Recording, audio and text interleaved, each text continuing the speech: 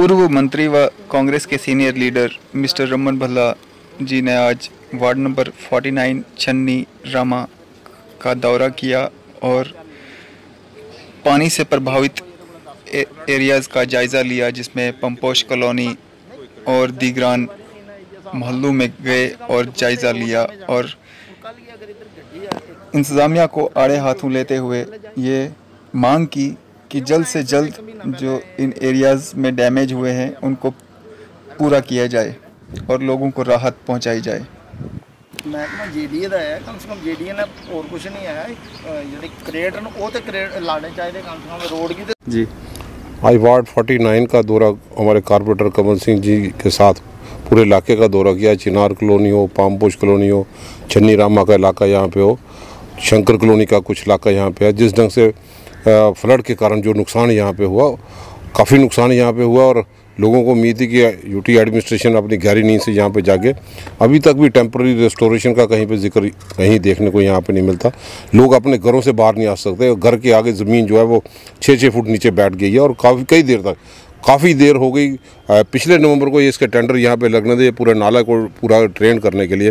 लेकिन मैं समझता हूँ कि जिस ढंग से कमेटी बनाई, मॉनिटरिंग करने वाले कौन लोग थे, यहाँ की एडमिनिस्ट्रेशन और यहाँ के भाजपा के लोग दावे तो बड़े करते थे, लेकिन उस फ़ाइल पे जिसका पैसा भी यहाँ पे था, प्रॉपर तौर पर अगर टेंडर लगते तो आज जो फ्लड के कारण जो लोगों का नुकसान हुआ, वो नहीं होता। नाले का पानी नाली में चला जाता और नाली का पानी सारा डाइवर्ट होकर लोगों के घरों के अंदर नुकसान यहाँ पे कई स्कूटियाँ यहाँ पे बह गई ये छन्नी रामा और पामपोश कॉलोनी का।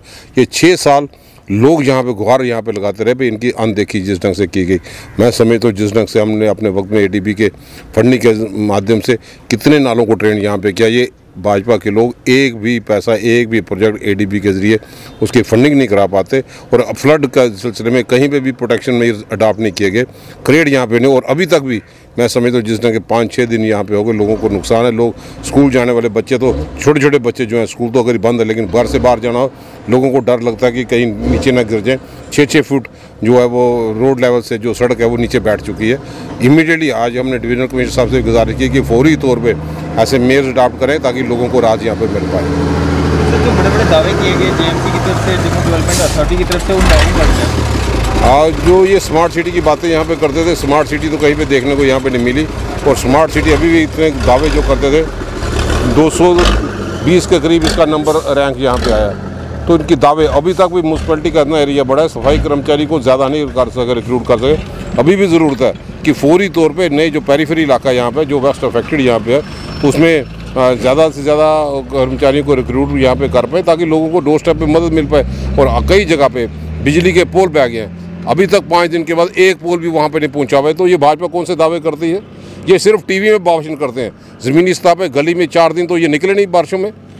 अगर पोल पामपोश कॉलोनी में बह गए हैं तो लोग किसी ढंग से कितनी दूर दूर से वो बिजली की तार कनेक्टर लेके अपने बिजली का इस्तेमाल करें।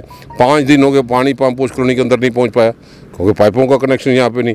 तो लोग किस ढंग से एक दूसरे के घरों में जाके अब मदद लेके तो वो अपना काम यहाँ पे चला रहे हैं। तो मैं समझता हूँ जिस ढंग से प्रशासन की अनदेखी यहाँ पे की गई है तो ये बड़ा चिंताजनक यहाँ पे बात है। इनका फ़र्ज़ बनता है कि फौरी तौर पे उन इलाके का दौरा करें।